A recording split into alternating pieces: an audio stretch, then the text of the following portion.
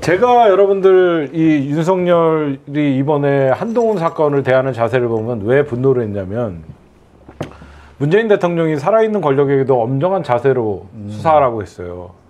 좋은 얘기였거든요. 윤석열은 마치 조국 장관을 수사하는 게 살아있는 권력을 수사하는 것 같고 임정석 실장과 청와대 인사들을 수사하는 게 바로 살아있는 권력이라고 생각했다는 거예요. 그러나 잘못된 거죠. 살아있는 권력이라는 말은 그 권력을 이용해서 부정부패를 감추고 힘으로 누를 때 그게 살아있는 권력입니다. 조국 장관은 자기 딸의 표창장 문제나 자기 딸의 어떤 사모펀드 문제가 그 어떤 게 왔을 때도 자기가 갖고 있는 권력으로 절대 막으려고 하지 않았어요. 그건 살아있는 권력이 아닌 거예요.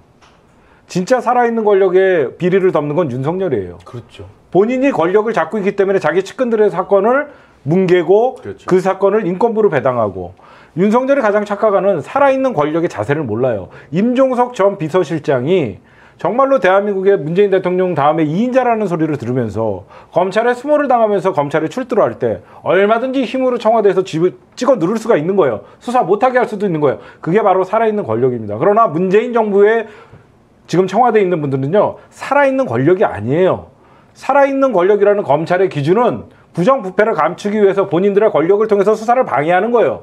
진짜 살아있는 권력은 윤석열이에요. 윤석열은 본인 측근들의 사건을 덮기 위해서 진짜 월권을 행사하고 수사를 방해하는 게 살아있는 권력이라는 거예요. 그래서 저는 윤석열은 살아있는 권력을 수사한다는 특히 이 조중동이 윤석열을 영웅화시키는 거 이거는 정말 잘못된 말이고 정말 잘못된 프레임다라고 생각해요. 문재인 정부에서 살아있는 권력이었으면 이렇게 당하지도 않습니다. 그렇죠. 안 그래요? 근데 권력이 살아있다는 거는요. 검찰을 쥐고 있기 때문에 살아있는 거예요. 그렇죠. 근데 검찰을 안 쥐고 있다면 그, 그 칼이 있어야지 살아있는 권력인데 칼을 내려놨는데 뭐 살아있는 있으면 뭐해? 무기가 없는데. 다니면서 난리를 치고 있는데 그냥 내버려 두고 있죠. 그렇죠. 제정신 차리게끔 얘기하고 그걸 이제 쥐려고 추미애 장관이 시작하고 있는 거고. 답답하죠. 진짜 윤석열이가 얼마나 살아있는 권력이냐. 자기 부인, 응? 장고 증명 이런 거 다 부인은 무혐의 처리하고 공모했다는 증거가 없다 그러면서 무혐의 처리하고 어? 법원 판결문에 나와 있던 장모와 장고 증명 위조 사실을 지적하자 공소시효가 임박해갖고 일부 혐의만 기소하고 이게 진짜 살아있는 권력은 윤석열이라는 걸 우리가 알 수 있는 거거든요. 선택적 정의. 정말 이건 잘못한 것 같고 한동훈 사건도 지휘부를 지 맘대로 아까 말씀해 주셨듯이 대검 부장단 회의에 넘겨갖고 전문 수사단에게 맡기고 이게 잘못한 거죠. 누가 진짜 살아있는 권력이고 정말 수사를 받아야 될 게 누군지 정말 대한민국의 언론들은 무조건 권- 정권 대통령 하에 집권 여당이라 그래갖고 살아있는 권력이라고 얘기하는 자체가 비유가 잘못됐다라고 여태까지 이명박근혜 정권에서는 얼마나 권력으로 검찰을 찍어 누르고 수사를 방해하고 모든 것들을 무혐의 처리하고 그게 사- 그게 잘못된 살아있는 권력이죠. 박근혜 정권 같았으면은 지금 윤석열 총장 날라갔다 100번쯤 날라갔을 거예요. 벌써 장모 네, 구속되고요. 장모권으로 해가지고 와이프, 날라갔죠. 진짜 장고증 조국 사건이랑 똑같이 비교해 볼까요? 표창장 하나로 사돈의 팔총, 조카, 가족, 동생 다 털렸잖아요. 장고증명서안으로 와이프, 뭐 사돈의 팔통 뭐다 털려갖고 장고증명 어떻게 만나나 은행 직원 물어갖고 벌써 다 나왔어야 돼요. 그거 그렇죠. 어떤 것도 안 나오잖아요. 그렇죠. 지금 감찰 무마로도 가야 됩니다. 그렇게 되면. 예. 그럼요. 그러니까요. 말도 안 되는 거니까 지금 윤석열 자체가 근데 이제 언론들에서 윤석열도 눈치챈 것 같아요. 조중동도 이제 윤석열의 한계가 오는 걸 느꼈는지 모를라도 점점점 윤석열이가 살아있는 권력에 저항하다가 점점점 정치권에서 어, 사퇴 압박을 받는 것 같이 하면서 영웅화시키고 있는 느낌이 들어요. 요즘. 정치적 자산을 만들어 주겠다라는 거죠. 음. 왜 그러냐면 지금 대권 후보가 없거든 저쪽. 그렇죠. 네. 황교안은 좀 밀다가 안 어김없이. 떨어지고 자기 스스로 종로로 죽는 줄 알면서 나갔었는데 이제 다음 후보가 나오기 전까지 윤석열을 열심히 밀어보겠다 하고 있는데 측은하죠 이런 거 볼 때 보면 지금 검찰이 오늘 세월호 수사에 그 다시 착수했거든요. 근데 음. 황교안 전 법무부 장관을 노리고 있어요 지금. 참아야지. 네. 그러니까 임관혁 그새 수사 단장 내가 처음에 될 때보다 그 인간 좀 이상하다 그랬는데 많이 이상했죠. 예, 이 양반이 정말 눈치를 잘 봐요. 상황 봐가지고 적당히 고비게 되면은 한 발씩 한 발씩 움직여요. 는 지난번에 저기 대통령 기록관 압수수색 활동 보- 하- 갔다 하는 거 보면은 딱 선거 끝나고 얼마 안 돼서 했어요. 그러니까 이번에도 보니까 줄 윤석열 섰어요라고 보여주는 좋은 사인이죠.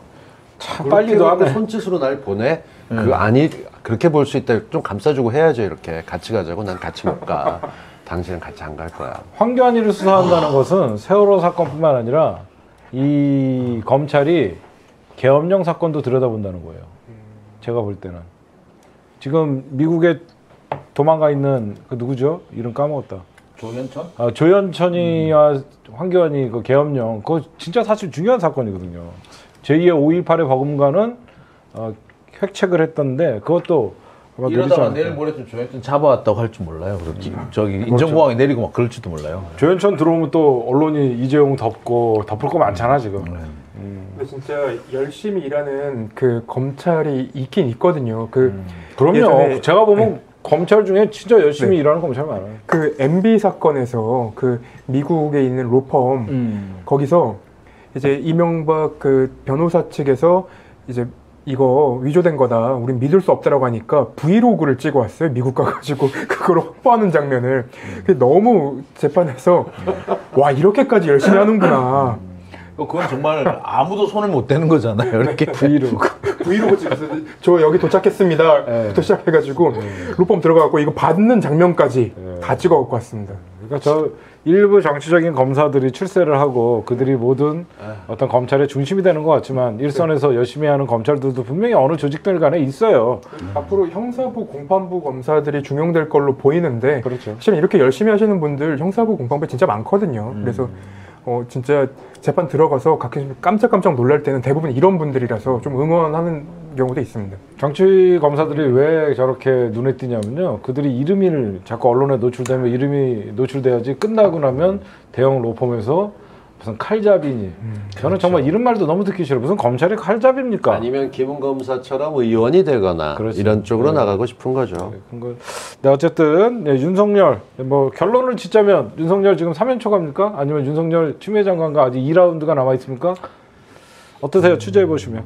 저희 저제 제 개인적으로 생각으로는 어, 7월 이후면은 윤석열 총장의 입지는 거의 진짜 한 한 발자국 정도만 남아 있을 것 같다라는 생각이 듭니다. 왜냐면 인사권에도 이번이 거의 마지막 그 이제 영향을 줄 수 있는 기회인데 추미애 장관이 특수통 다 날리겠다 그리고 형사 공판부 중용하겠다 얘기를 했고 그리고 결국은 법무부에서 직접 감찰하면서 윤석열 총장이 개입할 수 있는 여지를 거의 닫아버렸어요. 인사권을 쥐고 있고 추미애 장관이 딴 건 몰라도요 네. 한다면 하는 사람이에요.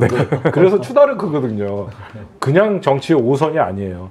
저는 우리 장영진 기자님이 보실 때 어, 윤석열과 추미애 장관 이제 어떻게 보면 이게 불꽃 튀게 붙었는데 추- 윤석열의 확실히 지금 남아 있는 건 뭐 있어요? 윤석열 검찰총장이 아니, 아니 질문이 예. 이번 인사에서 저번에는 누구는 제발 좀 여기 남겨달라고 했는데 윤석열이 그럴 만한 사람이 있나 그게 궁금해요. 지금으로서는 남아 있는 사람은 없습니다. 없고 어, 일단은 없어요. 외롭겠네. 예, 현재로서는 남아 있는 사람은 없다라고. 남겨달라고 할 사람 혹시 있을까요? 어, 구본구 차장? 구본선 차장? 차장. 검사 같은 경우에는 그래도 남겨달라고 할 가능성은 있죠. 근데 어, 제가 볼 때는 구본선 차장 검사가 차기 대권을 노려, 노릴 수 있어요. 자기 총장 자리를 노릴 수 있는 사람이에요. 어, 차기 총장. 예, 그, 그 정도. 그런 분들은 어디 법무 연수원 같은 데 보내야 되지 않습니까? 어, 법무연수원도 한번 갔다 오셨어요, 그분은 또. 그래서 제가 볼 때는 윤석열 검찰총장이 앞, 음, 그 반격을 하기는 어려울 거라고 봐요. 반격할 끈덕지가 있다고 하더라도 한동안은 반격을 안 할 겁니다. 그리고 그러, 그리고 숨을 내쉬고 반격을 하려고 할수록 오히려 추미애 장관한테 한 박씩 얻어 맞는 결과를 낳을 거예요. 일단 국회 법사위가 민주당이 꽉 잡고 있기 때문에 그렇죠. 검찰총장이 가갖고 국정조사나 이렇게 하면 검찰이 굉장히 난처한 상황이 돼서 조직 전체가 무너질 수 있기 때문에 근데 오늘 좀 특이하게 윤석열 총장과 추미애 장관이 좀 이렇게 좀 대결 구도를 보인 즉시 법세련이 갑자기 또 듣도 보통 법세련 사주모 이런 애들이 법세련이 추미애 장관을 고발을 해요. 검찰이 이거 수사할까요? 바로? 윤석열을 모욕했다 이런 얘기. 음. 글쎄요, 뭐 법세련이 보면은 글쎄 기회를 준 거가 될 수도 있지 않아요? 그래서 그게 기회는 그 빌미는 될것 음. 같아요. 근데 지금까지 보면 검찰이 그런 이상한 빌미를 가지고 음. 뭐 수사를 한다 하긴 했어요. 음. 근데 이거는 불가능할 겁니다. 어쨌든 자기 지휘권자기 때문에 지휘권자를 직접 수사하겠다라고 음. 수사 기밀. 누설이라고 하면서 했는데 그건 검찰이 하는 일이지 장관한테 할일 고소는 좀 아니었던 그렇죠. 거. 예. 세련 을 수사할 수 있는 자충수가 되지 않을까. 어, 오히려 고발인 네. 조사를 통해서 네, 무고를 할 수가 있을 것 같아요. 어, 예. 이 기회에 무덤 팠다라고 생각하고